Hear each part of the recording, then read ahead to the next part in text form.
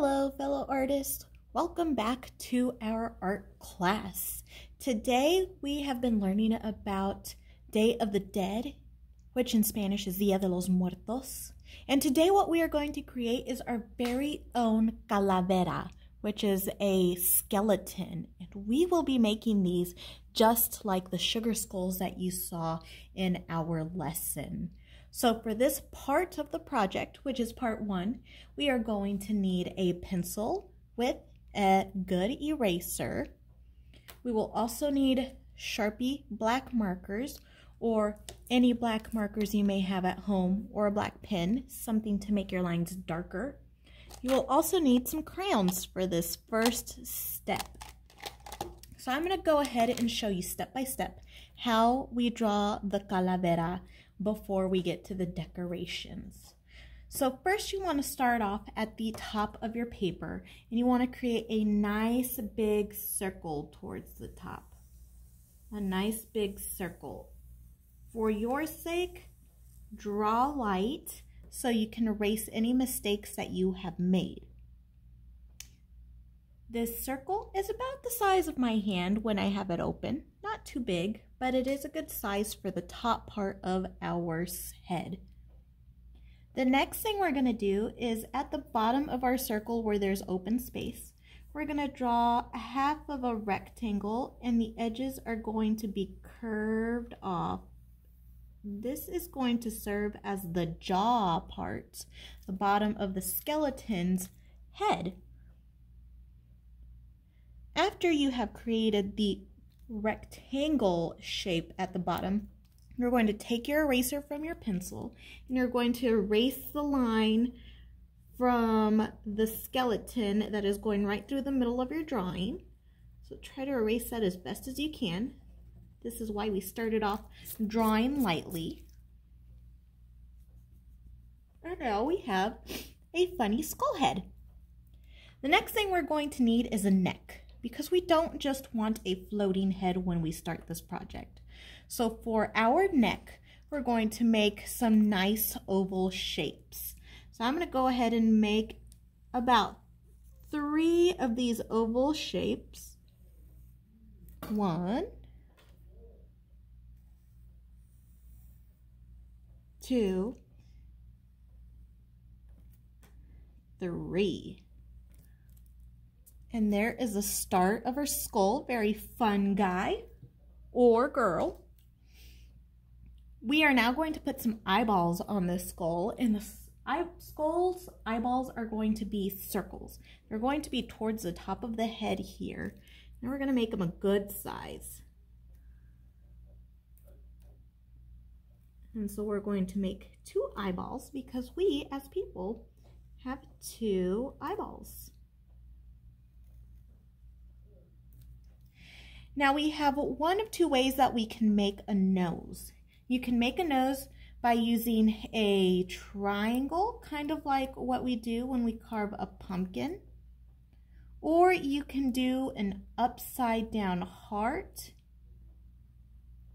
It's really up to you. For my example, I'm going to go ahead and use an upside down heart. So I'm going to start close to the eyes and I'm going to make this long, skinny, upside down heart. So now he has a nice skinny nose.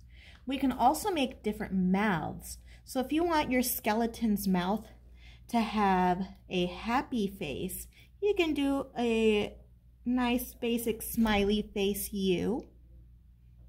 If you want him to have a surprised face, you can have them have an O as a mouth. And if he's very excited, you can have him have that slightly open mouth there with the straight line across and a curved line at the bottom. My skeleton in this example is going to have a nice big smile. So I'm going to just draw a nice big smile here. Now we are missing teeth. The way I like to make teeth is really easy. I make bumps. So I make one bump like it's a rounded mountain, two bumps, And you can add as many teeth as you want. I will only add a few. I'm not going to add them all the way down the line. I'm also going to add some little bumps at the bottom to make it look like the teeth are peeking out from the bottom there. Look at those cute little teeth.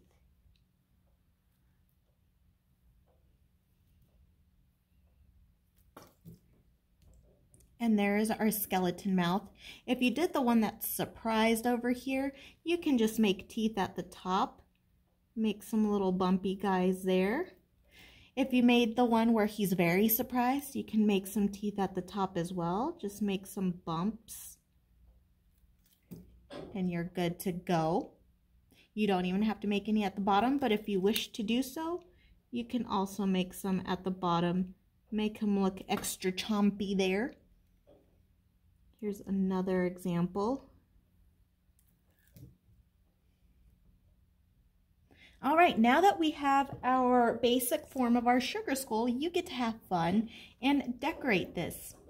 Now, before you trace everything out in a Sharpie, which is a permanent marker and cannot be erased, I would draw with my pencil first. So you can go ahead and draw all of the decorations that you want on your skeleton. I'm going to pop up a different example here that I have that I've already started tracing some of my lines. So here's a different one that I'm working on, and he's got quite the different mouth, but I've started tracing some of my lines on my skull. I will even go ahead and trace the head so it stands out a little better.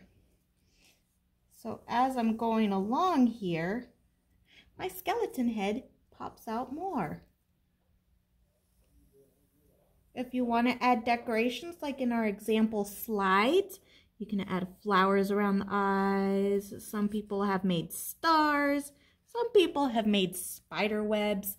It really depends on what you want your sugar skull to look like.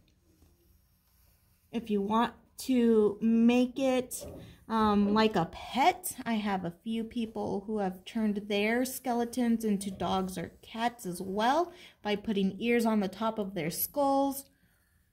And that works as well. But you are more than welcome to decorate this as much as you want. If you don't want a lot of decoration, that is okay. And not only do you, need to think about decorating the face, but you can also decorate the neck bones there. And I'm just adding a little flower on the neck bone there. But you don't have to do this if you don't want. You can decorate it however you find it more pleasing to you. After you are done tracing everything out, and making your skeleton the way you want it, the next thing you want to do is you want to take some crayons and you can go in and color some of your areas. So maybe I want to color this area and I would press pretty hard on those crayons.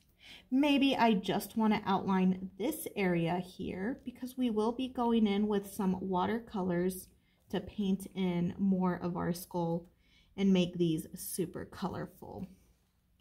So if you're going to need some areas to paint, press hard on those colorful crayons so when we add the watercolor part, the color stays on there.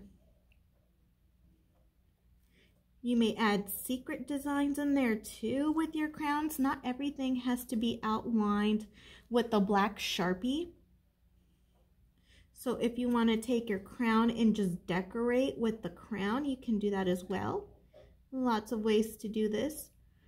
But this is the first part in creating our calavera, our sugar skull, in celebration of Dia de los Muertos, which runs again from October 31st, as we know as Halloween, all the way to November 2nd.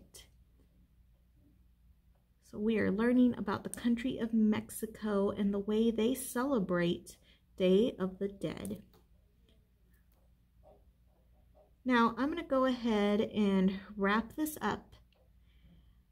But here is a start to my colorful creation. Later on, I'm going to go in with some watercolor paints and paint some more on top of this and then cut this out in the next video and show you how to do the background. Um, but this is all I have for you for today. Uh, make your sugar skulls, your calaveras as colorful and as decorative as you want. Again, feel free to turn them into pets. If you want to do a dog or a cat, you can just add ears at the top. Or if you want to think about someone that you love and design your sugar skull with things that they like or things that you like, you can do that too. Let your imagination go wild with these and make these as colorful as you want because in Mexico, these are full of color and full of fun things. Thank you so much for listening and watching this video. I hope you have a fun time creating your calaveras. Goodbye!